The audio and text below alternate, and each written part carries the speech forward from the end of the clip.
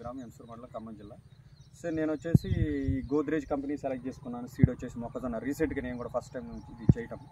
So ఇప్పుడు ఈ మొక్కజొన్న ఈ సెలెక్ట్ చేసుకున్న సీడ్ కూడా అండ్ దాని తగ్గట్టు మనకి గ్రోతింగ్ కూడా మంచిగా కనపడుతుంది. ప్రజెంట్ ఇప్పుడైతే ఈల్డింగ్ కూడా మంచిగా అనిపిస్తుంది. ఇంకా ఎయిటీ ఫైవ్ డేస్ అయింది. సో దీనికి నేను టూ టైమ్స్ స్ప్రే చేసినాను ఈ నాడు డేపి ఒకటి ఫార్టీ డేస్ అప్పుడు తర్వాత నెక్స్ట్ సెవెంటీ డేస్ అప్పుడు ఇట్లా three times two times spray చేసినాను. సో మొదటి దశలో గ్రోతింగ్ కూడా మంచిగా వచ్చింది. గ్రోతింగ్ రిజల్ట్ బాగుంది సక్సెస్గా అని చెప్పేసి నేను సెకండ్ టైం తలండి పోటాక్ మీద ఉన్నప్పుడు మళ్ళీ స్ప్రే చేసిన. దానికి తగ్గట్టు కంకి కూడా మనకి మంచిగా కనపడుతుంది గ్రోతింగ్ కానీ ఏదైనా. సో బికాస్ ఆఫ్ ఈ నానో టెక్నాలజీ అదే నేను యాక్చువల్గా ఇదివరకు కట్ట డిఏపి తీసుకొచ్చి నేను చల్లేవాడిని. ఇప్పుడు అది మొత్తం బంద్ చేసి నానో టెక్నాలజీ యూజ్ చేసి గ్రోమర్ డిఏపి తీసుకొచ్చేసి ఇది నానో టెక్నాలజీ స్ప్రే చేస్తున్నాను.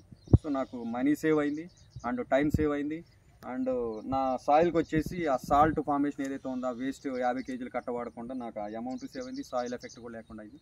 సో బెటర్ రిజల్ట్గా ఉంది. ఫ్యూచర్ మొత్తం దీనిదే కాబట్టి నానో టెక్నాలజీ కంపల్సరీగా దీన్ని వాడండి. మనకి మరి రిజల్ట్ కూడా hundred percent right okay thank you